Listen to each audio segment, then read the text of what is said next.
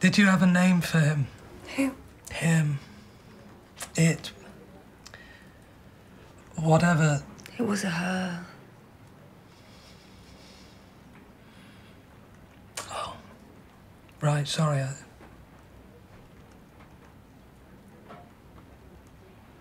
Did you have a name for her? No.